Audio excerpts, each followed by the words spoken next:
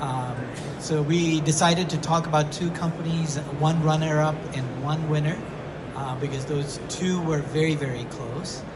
Uh, so uh, the first one is, is the Buddy uh, uh, flushing unit. That was the runners-up.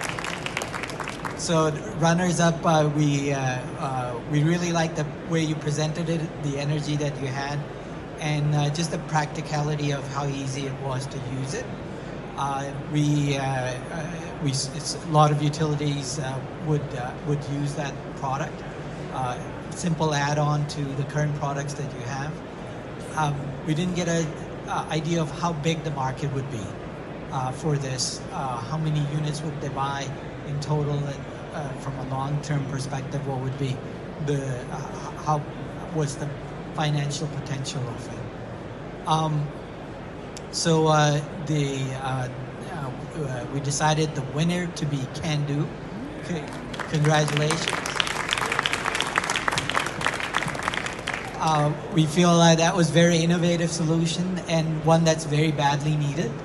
Uh, not uh, very unique. a lot of these solutions are that are similar solution that are that are out there are not that easy to deploy like your yours have, and uh, not focusing on the software like you said. Um,